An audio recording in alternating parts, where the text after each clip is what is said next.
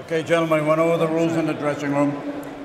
This is not a title fight, 10 rounds. You're both good professional fighters. We come out boxing at the belt. Touch him up, please.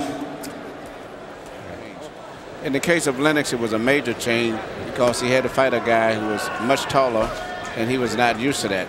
But if you watched Marquez's little brother Rafael knock out Timmy Austin earlier this year to take over the bantamweight division, you saw his hard right hand, and he won 40 of them, losing only a questionable decision loss to Freddie Norwood in a truly horrid fight in Las Vegas back in 1999 to his opposition. That's true, and this guy's been very consistent in all.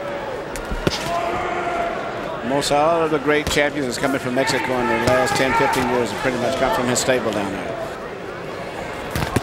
Hard uppercut thrown with the left hand by Marquez, well placed. He claimed he had been in training for a fight a little bit down the road, but Boy Promotions to send him into this fight. Licona is doing a little bit more boxing or trying to box here than advertised.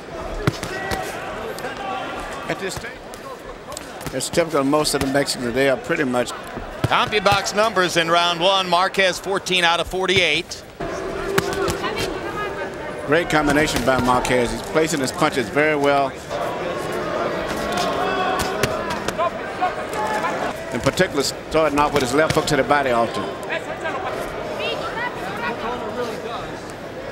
Marquez is routinely paid at night. They never came. Well, that's part of a learning experience.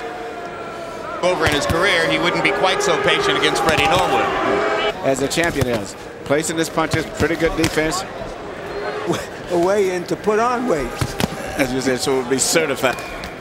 It's going to be hard to knock Licona around in there. Licona enjoying what appears to be a weight advantage. But Marquez lands a right hand over the top and a solid left hook. In each pocket. to get him up to 132 after he'd originally stepped on the scale at 27, right? Licona trying to go to the right hand with the body and Marquez counting upstairs with the left hand.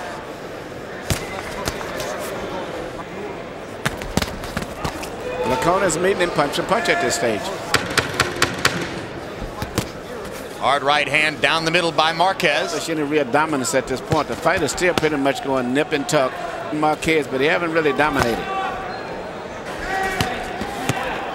Marquez risking a big right hand over the top. Licona tried to come back to the body. And that seems to have slowed the pace of Juan Manuel Marquez, although... Raging Bull. No Raging Bull tonight yet. Cheery little movie, that Raging Bull. He being Licona. Yes. Yeah.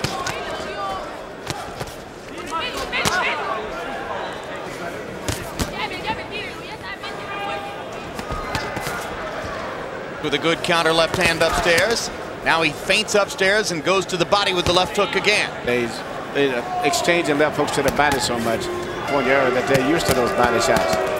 A double left hook to the body, and then they're in the center of the ring. And the most effective punch in the entire fight has been the left hook to the body. And a right hand by Marquez. Marquez doubling and tripling the punch output of Licona. With 142 pounds entering the ring tonight. But for Marquez, this might be a little bit like hitting the heavy bag. Oh, yeah, it's punching. At least he's getting. Or originally scheduled opponent, Derrick Gainer. California followed with the red duct tape. Licona is kind of comfortable getting into his rhythm, whereas it seems as looking and feeling seeming a little bit more comfortable with the whole situation now. Marquez, three jabs in a row, followed by the right hand. Punches with authority. Whereas Marquez is equally as sharp and as crisp as he was in the first few rounds. Ah, so there's one block a punch with his left elbow and then throw a punch with the teeth to even think to keep up with the different things that he's doing. It would be so Marquez face off with Marco Antonio Barrera because they yeah. both have so much game. My favorites. Tremendously skilled. Licona is averaging 44 punches thrown per round, but landing fewer than 20% of them. Marquez averaging 52 punches thrown per round. Brothers, both Rafael and Juan, and they're both very it's never by plan. Yeah, yeah. Zaragoza couldn't have knocked people out with a shovel, but but still one. it's one thing when you're training a fighter like Zaragoza who isn't going to knock anybody out. You know. Good decision nowadays.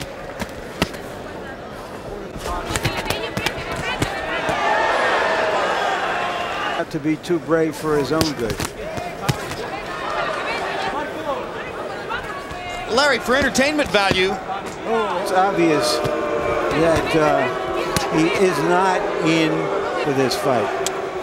between rounds, we'll get a look at a 140-pound prospect who from the Bronx, who's arousing some attention in the sport. The 140-pound weight class, overwhelmingly rich with talent.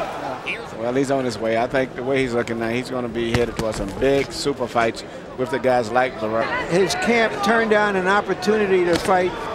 He's waited a long time. That lost him. Fortunately, sometimes, and this is the difference maybe between he, he, he you don't often Mendez see two left hooks. Morales is that he can fight like an accountant. You know, And another great left hook. And a right hand and a right hand. I wonder if Licona, if he didn't weigh 142, that stuff. Personally, I would say no.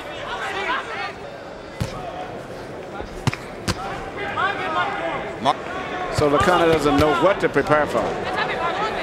This round, earlier he was landing with a lot of right hands on the top and left hooks to the body. And now Marquez doubling and tripling on that solid jab. Sure.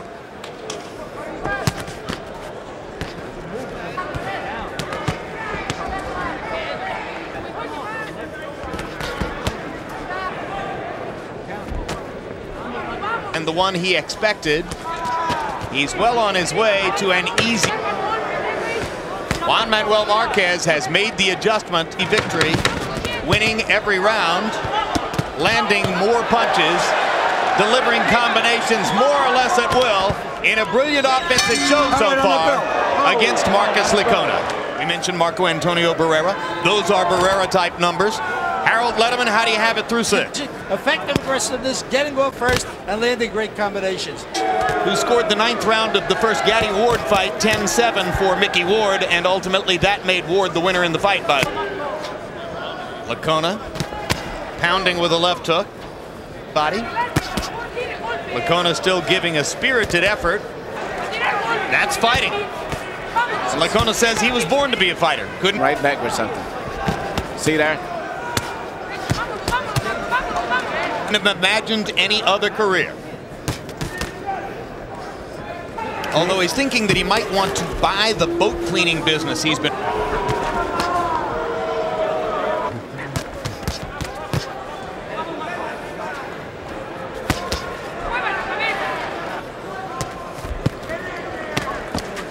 Hit him up.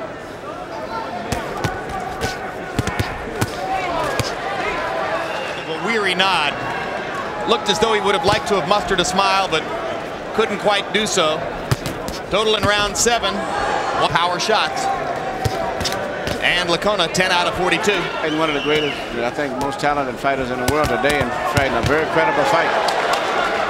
Full foil for showing how dazzling Juan Manuel Marquez's Yes. offense can be when he gets it going. Great, great. Assuming he doesn't get caught with anything big from Licona, it's going to be great work for him. in this infancy going into the final rounds of the fight. You know, guy, his body looks stronger than that of Marco Antonio Barreras. Never one of those, what you say, cut guys, but physically one of the strongest heavyweights of modern times.